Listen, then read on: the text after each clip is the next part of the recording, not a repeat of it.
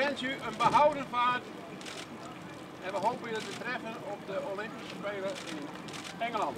Just the first uh, 15 minutes in the boat, new boat. This is the night before the Deltloid Regatta here in Medemblik. And uh, I'm testing this new boat. The first feeling, very happy. Happy with the boat, feels good. Um, tomorrow, actually I was sailing now alone. So tomorrow I'll sail with the other boats in the regatta. And then you, you get a real feel how fast the boat is, how it reacts and uh,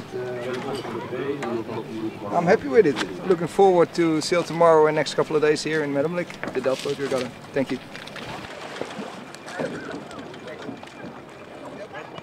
Goeie.